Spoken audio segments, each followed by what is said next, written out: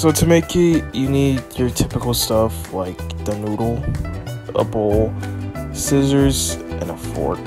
So obviously the first thing you're gonna do is take out the Indomie. Oh wait, yeah, the noodle out of the packet, and inside you'll see like the packets. It, yeah, and like just like cereal, you're gonna put the thing in the bowl first, and instead of milk, you're gonna put in water. Cause yeah, but not too much. So obviously I don't have a pan. We're not using a pan or pot, whatever you use to make noodles. So I just put the bowl in the microwave, and like I put in for five minutes. Usually the like usually the time depends on how many noodles you put. Since I put one, I put it for five. Most of the time, I don't really use the whole five minutes. I usually just stop in between, like quick stop, and just like put my fork in and feel the texture of the noodle to see if it's noodly. If it's still hard, you still microwave it, but if it has that noodly texture feeling, then you're done, dude.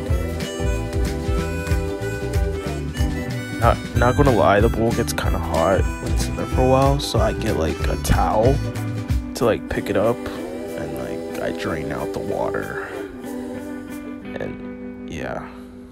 And there you go. It's time for mixing in the stuff. So yeah, uh, I don't know if it's just me, but I cut my packets individually, like the sauces. I mean, I don't know if it's just me, but it's just so much messier when you just cut it all at once. So I just did it.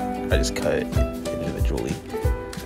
And after the sauce, I use I cut the the, the powder stuff.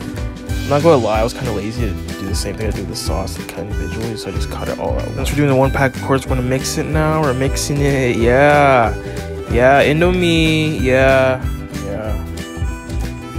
And there you go, you made your bowl of Indomie without using the typical cooking stuff for noodles, dude. You should give yourself a high five, yeah. Wasn't that so like helpful?